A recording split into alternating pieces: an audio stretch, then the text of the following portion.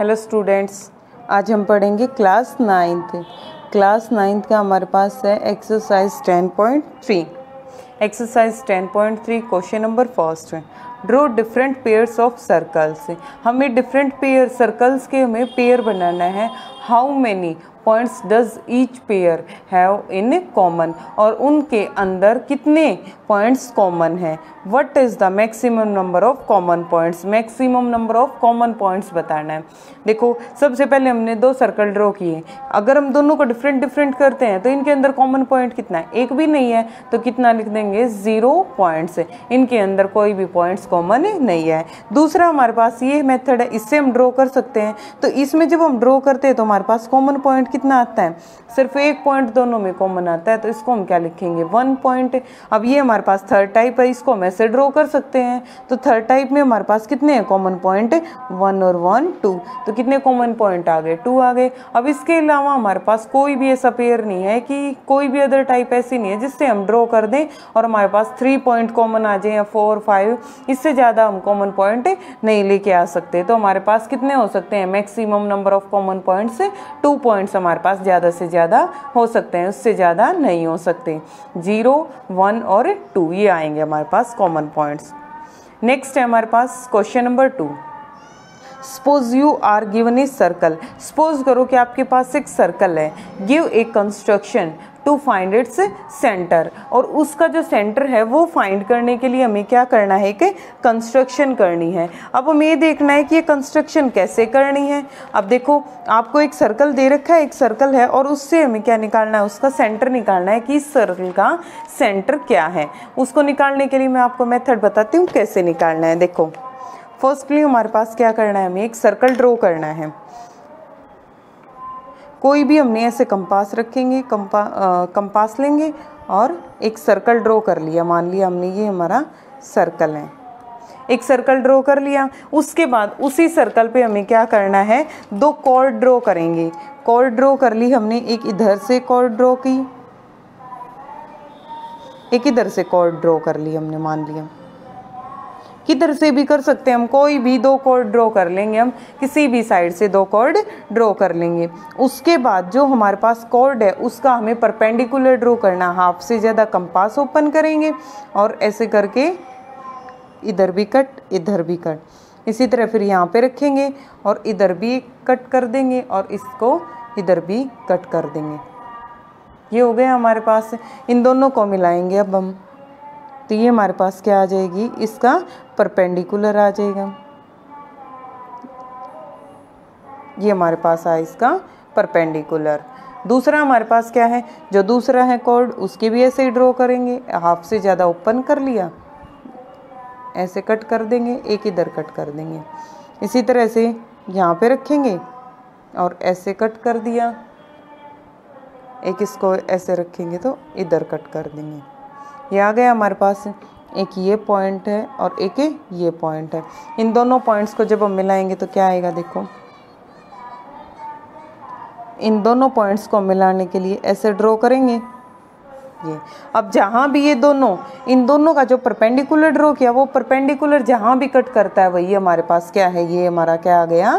Centre ये हमारा इसको किसी भी सर्कल का सेंटर निकालने का मेथड अब देखो कैसे हैं? कंस्ट्रक्शन लिखनी है हमें step of construction first tick arc P Q of the circle एक सर्कल दे रखा है उस पर हमने एक आर्क ले ली पी क्यू पी क्यू एक आर्क है हमारे पास, ये एक आर्क है। Take a point R on the arc और इसी आर्क पर हमने एक पॉइंट क्या ले लिया? आर पॉइंट ले लिया। इकट्ठा लेके चल पड़े अब हम। ये हमारे पास कोई आर पॉइंट हो गया and draw chords P R and P Q P से आर कोड ड्रॉ कर लिया और क्यू से आर ड्रॉ कर ली हमने। ड्रॉ परपेंडिकुलर अब परपेंडिकुलर ड्रॉ कर देंगे किसका? पी आर का परपेंडिकुलर ये आ जाएगा। और आर क्यू का परपेंडिकुलर ड्रॉ कर दिया। दीज पर perpendicular bisectors intersect at point O और दोनों का जो परपेंडिकुलर ड्रॉ किया है, वो इंटरसेक्ट करता है किस पॉइंट पर? ओ पॉइंट पर। Hence O is the centre of the circle जो हमारे पास ओ पॉइंट है, वो क्या हो जाएगा? Centre of the circle next है हमारे पास question number three if two circles intersected at two points हमारे पास कोई भी दो सर्कल दे रखे हैं और वो इंटरसेक्ट करते हैं। टू पॉइंट्स पर, किन्हीं भी दो पॉइंट्स पर इंटरसेक्ट कर रहे हैं। Prove that centers lie on the perpendicular bisector of the common chord. हमें ये दे रखा है प्रूव करना है सेंटर लाई जो सेंटर है वो लाई करता है on the perpendicular bisector of the common code जो हमारे पास कॉमन कोड है, उसके परपेंडिकुलर बाइसेक्टर पर दोनों सेंटर लाई करते हैं हमें प्रूव करके दिखाना है।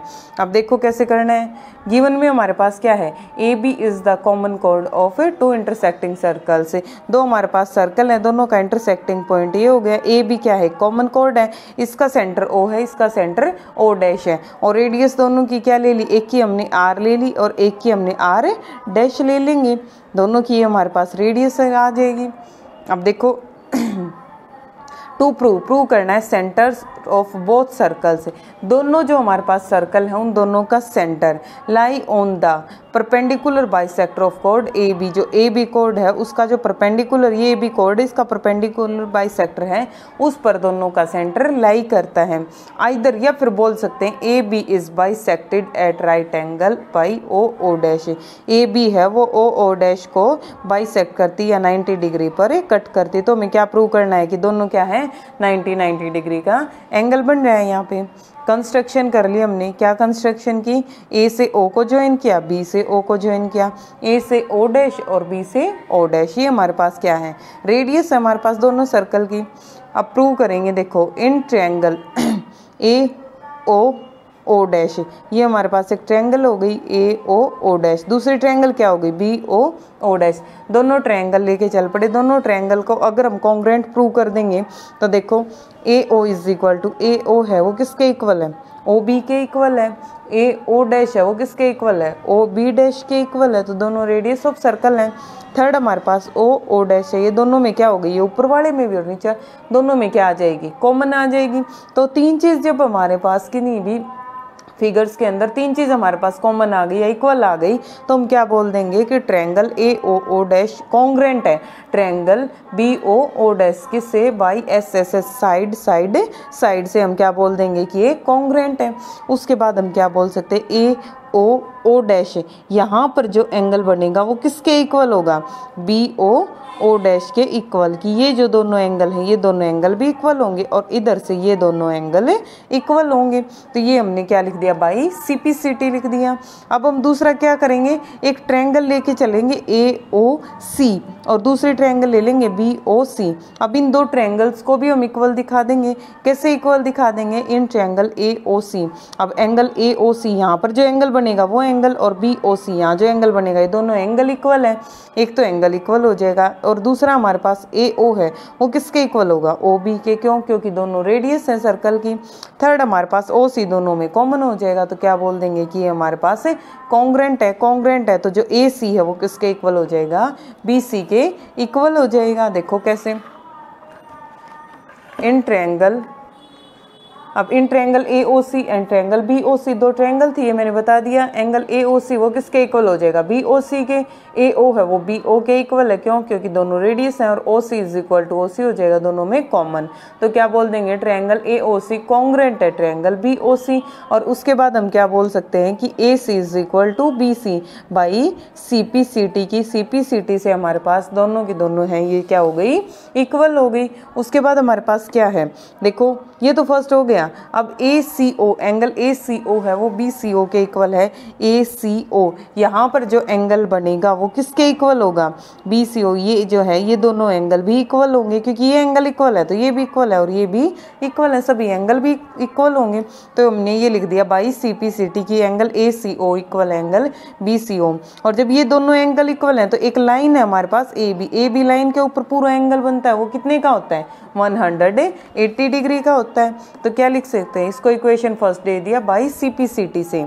और दूसरा हमारे पास by linear pair linear pair angle ये लीनियर पेयर एंगल से अगर हम देखते हैं तो दोनों एंगल्स का sum angle A C O plus angle B C O is equal to one eighty equation two आ गई। अब दोनों का सम कितना है? वन एटी है। तो इसकी जगह पे एंगल ए सी ओ की जगह भी हम क्या रख सकते हैं? Angle B C O plus angle B C O is equal to one eighty ये टू टाइम्स हो जाएगा तो टू को उधर लेके जाएँगे डिवाइड में आ जाएगा नाइन्टी हो गया। अब बी सी ओ कितना आएगा? नाइन्टी बी सी ओ अगर नाइन्टी है तो वो ए सी ओ के इक्वल है। तो दोनों एंगल कितने के हो जाएँगे? नाइन्टी डिग्री के by equation first and second first और सेकेंड इक्वेशन से हमने निकाला कि एंगल दोनों एंगल हैं जो वो नाइन्टी डिग्री के हैं। और जब हमारे पास दोनों एंगल ही नाइन्टी डिग्री के हैं तो हम क्या बोल देंगे? Hence O O dash lie on the perpendicular bisector of A B तो हम ये बोल सकते हैं ओ ओ डैश है, वो परपेंडिकुलर बाइसेक्टर है किसका? ए बी लाइन का। और ये हमें प्रूव करना था।